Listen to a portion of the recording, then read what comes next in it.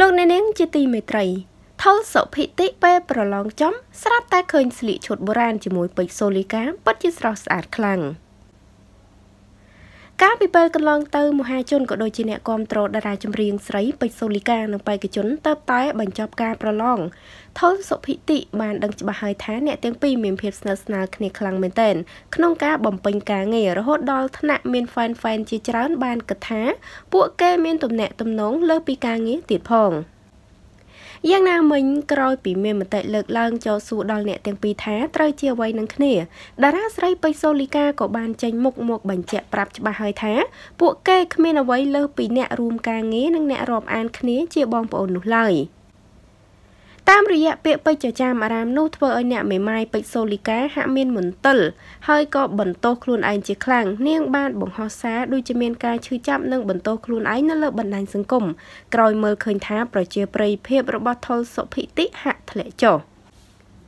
ជុំវិញទំនាក់ទំនងបេក្ខជន Cambodian Idol ថុលសុភិតិតារាចម្រៀងបេក្ខសូលីកាបានបញ្ជាក់ច្បាស់ច្បាស់ថាគ្រាន់តែជាការយល់ច្រឡំហើយនាងបានទទូចអង្វរដល់មហាជនឲ្យមានការស្រឡាញ់និងគាំទ្របេក្ខជនថុលសុភិតិដោយកាលពីមុនវិញ។ ទោះបីសូលីកាមានការបកស្រាយរួចក៏ពិតមែនក៏នៅតែមានមន្ទិលមួយចំនួនជុំវិញរឿងនេះដដែលដោយហេតុនេះហើយទៅពេលស្លៀកឈុតកូនកំឡោះកូនក្រមុំឲ្យសំអាំងការហង្សជាមួយពេជ្រសូលីកានោះថុលសុភិតិបានបញ្ជាក់សារជាថ្មីជំរះមន្ទិលមហាជនបើក្រឡេកមើលពួកគេស្លៀកនៅសម្លៀកបំពាក់សំអាងកូនកំឡោះកូនក្រមុំបែបបុរាណបែបនេះគឺពិតជាស្រស់ស្អាតស្រស់សោភ័យខ្លាំងណាស់ កូនក្រមុំក៏ស្អាតកូនកំឡោះក៏សង្ហា ធ្វើឲ្យហ្វេនហ្វេនជាច្រើនសែសរសើរថាពេញចិត្តគ្រប់គ្នា កំពុងតែល្បីរឿងមានទំនាក់ទំនងស្នេហានោះ